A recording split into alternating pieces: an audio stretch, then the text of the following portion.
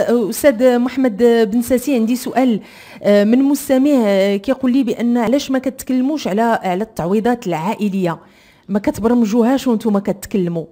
التعويضات العائلية؟ آه أنا سولته قلت له شنو كتعني بالتعويضات العائلية؟ قال لي مثلا أنا عندي ثلاثة ديال الوليدات كنقبض عليهم 12000 ريال.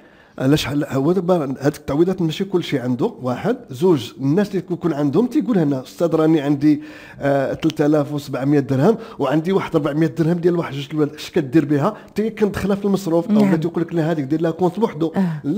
لا الا ما كنظن أننا حنايا يعني تكلمنا على هذا الموضوع مرارا أستاذ محمد بن ساسي. تكلمنا فيه وقلنا وكتنصح الناس كتقول له مثلا ديك 200 درهم أو 400 درهم ديرها ادخار للوليدات على اعتبار أنهم ديال الوليدات هذه نعم. كنقولوا من أحسن الأسرة ما تقيسهاش ولما كتقيسها كنعرفوا بأن راه هذاك الدخل اللي ما تيغطيش المصاريف فكيدخلوا فيها مضطرين نعم. هنا كنضروا ندخلوا في الخطة خطة باء كنسميوها.